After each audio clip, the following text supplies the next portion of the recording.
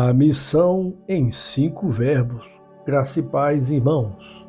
Vamos continuar o estudo na carta de Paulo aos Romanos, no capítulo 10, os versículos 14 e 15. Antes de os ler, gostaria de incentivar você a enviar este link do devocional para outras pessoas estudarem junto conosco a palavra de Deus. Como diz como, pois, invocarão aquele em que não creram? E como crerão naquele de que não ouviram falar? E como ouvirão se não há quem pregue? E como pregarão se não forem enviados? Como está escrito, como são belos os pés dos que anunciam as boas novas. Certa vez eu ouvi um sábio dizer que se suas palavras não forem para edificar, então é melhor ficar calado. Se suas ações não forem para ajudar, então é melhor não fazer. Fui então buscar na Bíblia algo para ver a frase ser útil, mesmo ela sendo bonita. E a Bíblia diz em Efésios, no capítulo 4, no versículo 29, nenhuma palavra torpe saia da boca de vocês, mas apenas a que for útil para edificar os outros conforme a necessidade, para que conceda graça aos que a ouvem. Este mesmo texto de Efésios, na nova tradução da linguagem de hoje, diz: Não digam palavras que fazem mal aos outros, mas use apenas palavras boas que ajudam os outros a crescer na fé e a conseguir o que necessitam, para que coisas que vocês dizem façam bem aos que ouvem. Já a Bíblia Almeida do século 21, lendo Efésios 4, 29, ele diz que não saia da vossa boca nenhuma palavra que cause destruição, mas só a que seja boa para a necessária edificação, a fim de que transmita graça aos que ouvem.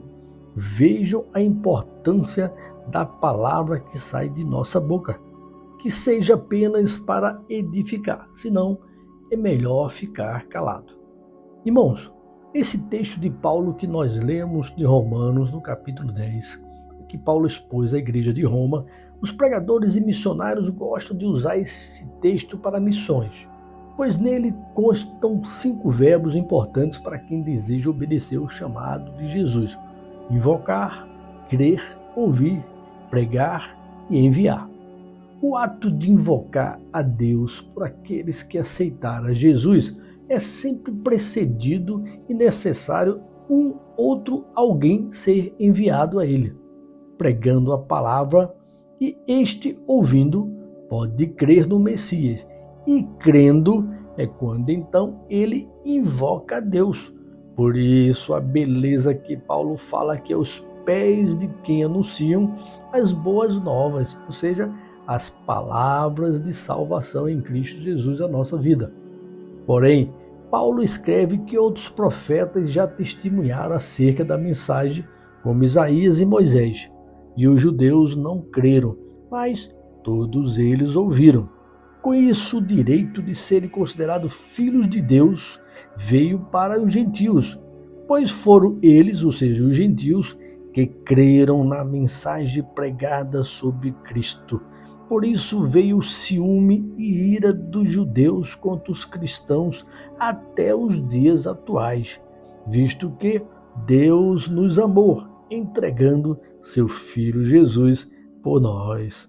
Que possamos, amados irmãos e irmãs, entender que Deus sempre estendeu as mãos aos judeus, mas eles sempre foram rebeldes e desobedientes e recusaram a salvação proposta por Deus.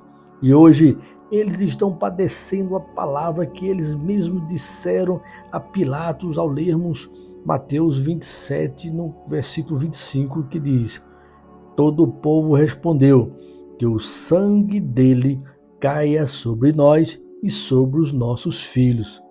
A nova tradução da linguagem de hoje diz: Que o castigo por esta morte caia sobre nós e sobre nossos filhos. Misericórdia, né, irmãos? Esse é o peso que os judeus carregam hoje.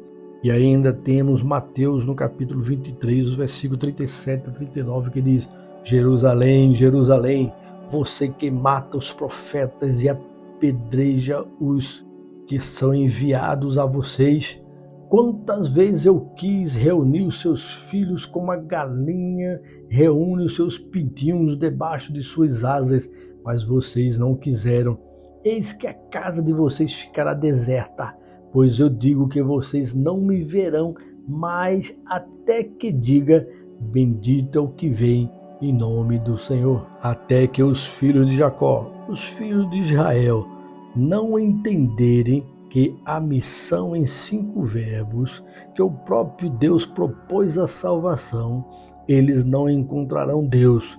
Irmãos, são mais de dois mil anos que eles estão sem seus sacrifícios, sem um templo para adorar Deus e lhes entregar seus dízimos, sem um profeta para lhes falar, pois a palavra lhes foi pregada e ainda lhes é pregada hoje.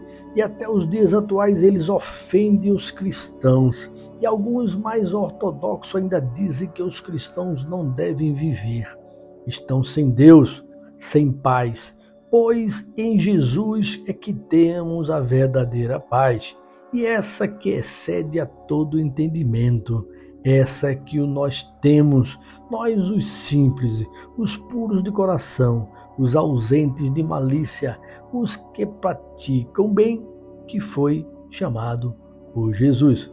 Por isso, irmãos, vamos sim continuar a missão, esses cinco verbos: invocar, crer, ouvir, pregar e enviar. Amém, irmãos? Vamos orar? Seu Deus e eterno Pai, muito obrigado, Jesus, por esse privilégio de chegar a presença do Pai em teu nome. Obrigado, Deus, por estarmos aprendendo mais sobre as tuas coisas, Pai. A importância de nós falarmos sempre o bem, usarmos nossas bocas para edificar, abençoar, não para falar coisas que não edificam. Isso só atrapalha o entendimento e não acrescenta nada na vida do próximo. Pai, obrigado por esse momento de oração eu deixo meus irmãos, minhas irmãs e os ouvintes em tuas mãos, para que eles também possam invocar o Senhor e um dia seres usados por Senhor a pessoas próximas a Ele e, quem sabe, a fazer missões. Obrigado, Pai, por esse momento de oração. Em nome de Jesus. Amém. Amém, irmãos. Que Deus abençoe tenham todos um excelente dia. Até amanhã, se Deus nos permitir.